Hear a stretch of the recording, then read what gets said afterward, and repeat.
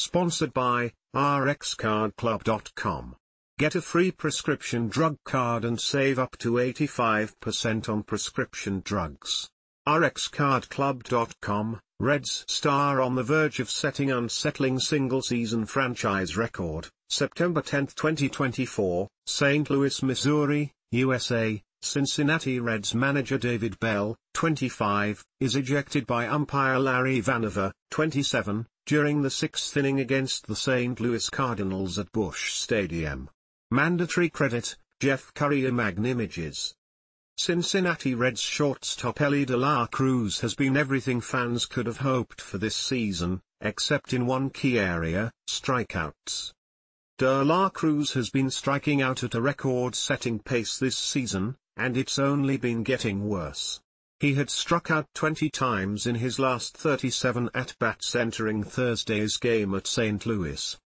He kept that trend going in his first two at-bats against Sonny Gray on Thursday as he struck out two more times, passing Adam Dunn, 195 strikeouts in 2004, for the second most strikeouts in a single season in franchise history.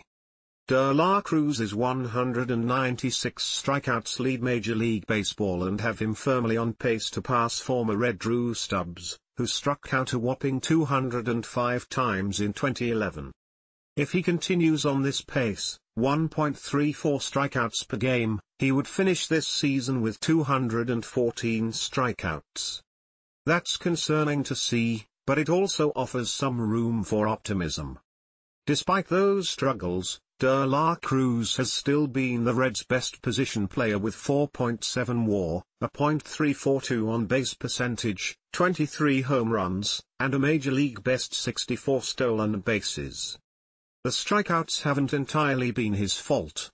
According to a Sports Illustrated article, De La Cruz has struck out looking at pitches outside of the strike zone 13 times this season. The article also states that De La Cruz ranks 7th in MLB for pitches outside of the strike zone being called strikes, per Baseball Savant. If he can find a way to cut down on his strikeout problem, hopefully with some better calls from home plate umpires, he could become an MVP caliber player in the not too distant future, and hopefully set some more worthwhile franchise records along the way.